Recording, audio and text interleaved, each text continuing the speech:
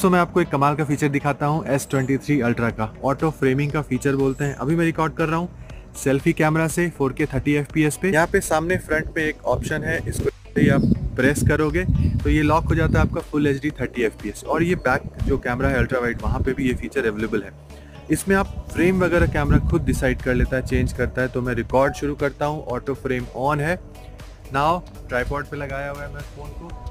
देखो देखो जैसे मैं पीछे जा रहा हूँ थोड़ा सा जूम इन कर रहा है कैमरा जैसे मैं पास आऊँगा camera is automatically doing all this things अगर मैं थोड़ा सा राइट में जाऊँ तो वो राइट को तरफ़ जूम इन करने की कोशिश करेगा कैमरा थोड़ा सा लेफ़्ट में जाऊँ तो वहाँ पे जूम इन करने की कोशिश करें अवेलेबल है बैक कैमरा में भी अल्ट्रा वाइड एंगल कैमरा तो अभी मैं रिकॉर्ड कर रहा हूँ बैक कैमरा से.